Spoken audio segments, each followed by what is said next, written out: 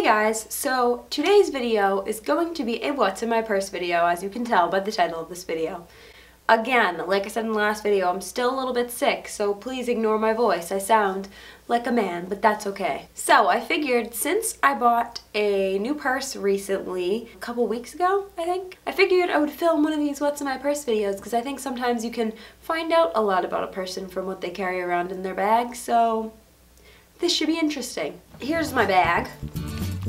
I got it from Charming Charlie, which I swear by, and everyone that knows anything about me knows I love that store because I get all my bags there pretty much now. I had a crossbody bag that I bought there a while back and I've used it all the time. It was wicked cheap. I think it cost me like literally 15 bucks and it has lasted me forever. It hasn't like fallen apart at all or anything like that and I use it all the time.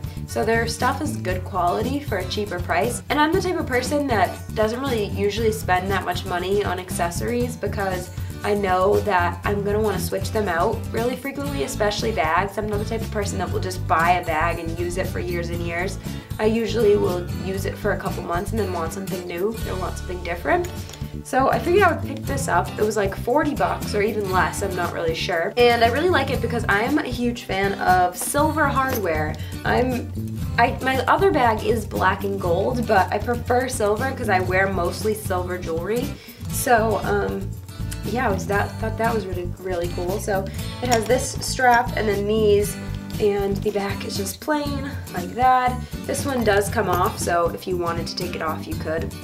Then on the inside there is a zipper, um, which I like a lot because makes you feel, you know, a little more secure when uh, there's a zipper. So the first thing that's usually in my bag, which obviously isn't in my bag right now because I'm home, but my phone is always in my bag because I bring it everywhere. Check out my cool phone case sticker, SpongeBob, represent, got that at VidCon. What up t-shirt reference? What up Lilly Singh reference? I'm gonna reach in, first thing in my bag, Aveeno hand cream. I actually just bought this the other day and stuck it in my bag because my hands are extremely dry. I just have generally dry skin. And I have this thing called Raynaud's syndrome, which I know some of you out there probably have this too, where when it gets cold out, if you go outside, your body naturally cuts off circulation from your outer extremities. So your hands, your feet, tip of your nose, your ears, that kind of stuff.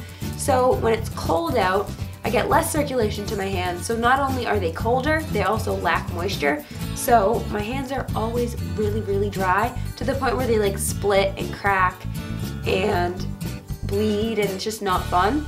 But this stuff, I swear by, I had a tube of it a long time ago, and I just recently went out and bought a new one, so I'm super glad to have that in my bag. The next thing is my wallet, which, you guessed it, is from Charming Charlie's. I really like it because it has this little hardware bit right here that I think gives it a little pop and it's cute enough that you can carry it around kind of like a clutch. So if I was just running to the store, I could just grab this instead of bringing my whole purse. So inside here I have the typical stuff, AAA card, license, my school ID card, credit cards, debit cards, my checkbook, receipts. Pretty boring stuff, but I mean, you know, standard wallet stuff. Then the next thing I have in my bag is the third book in the Maze Runner series because if you watched my favorites video, you know that I am currently reading that right now. And I usually read this on my breaks at work because I'm a super nerd and I get bored really easily. So when I'm on break, I like to, you know, read a couple chapters because they're short and sweet and I love the series so far. So yeah, check it out. Next thing, I'm just gonna show you the back of this because has my information on the front, but basically, I got selected for jury duty. Well, I got called for it. I haven't actually gone yet. I don't know if I'm gonna sit on a jury, but it seems a little, okay, so I have this thing where basically I registered to vote really, really recently online. And then within a few months, I got this notice that I needed to serve for jury duty. So I have a feeling that it might be linked. What do you guys think? I don't know if like anybody knows if it's linked or not. I haven't looked it up or anything like that. But I know other people who said right after they registered to vote, they got a letter in the mail saying that they had to do jury duty. And I mean, I'm only 19 years old, so I feel like this is really early to have jury duty. I don't really know. but hopefully I don't get selected, but I mean, it might be interesting, right? I, I deferred it to the summer just because I'm in school, so I think it'll be during May, but I mean, we'll find out. I'll let you know how that goes. So the next thing that I have is this little travel size case that I bring everywhere with me. When I'm going to class, I put this in my backpack. When I'm going to work, I put this in my purse. And basically it has all of the little necessary items in it. It has lady products, as you can see. Some cotton balls, I have deodorant in here, some of those breath fresh strip things, a little mirror, and a chapstick. So that's what's in there. You never know when you're gonna need that kind of stuff, so carry it around.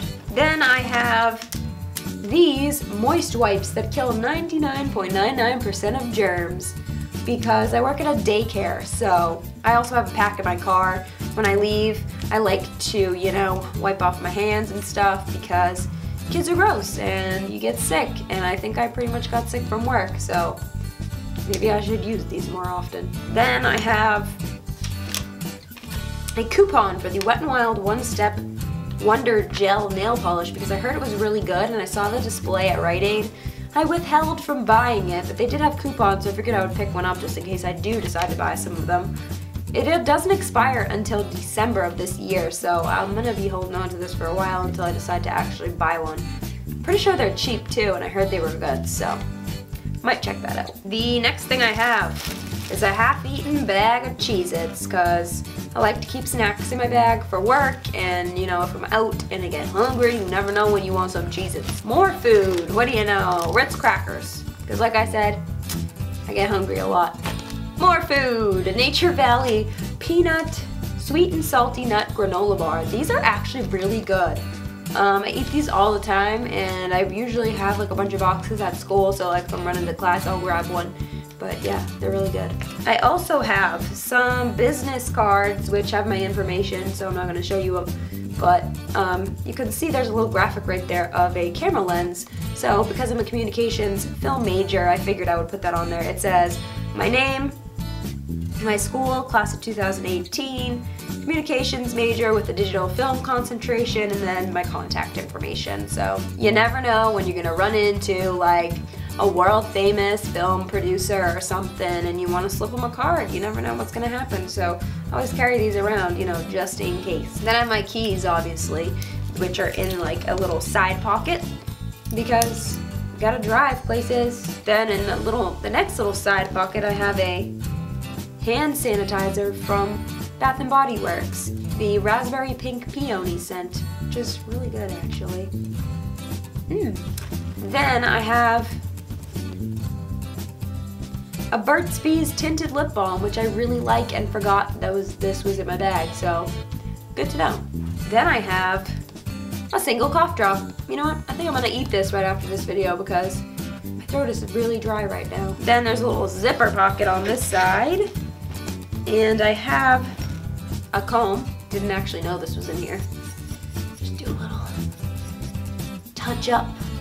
I've got a little mirror. I don't want to blind you, but that. Have a bag of medications. I think I have like Tylenol, Sudafed, Motrin, that kind of stuff in here. You never know when you're gonna feel sick or get a headache or something, so I carry this around with me. Then I've got a whole bunch of pens and a giant eraser because I make lots of mistakes. Although I don't have a pencil in my bag, so it doesn't really make sense why I would carry an eraser. But it's in here, so, you know.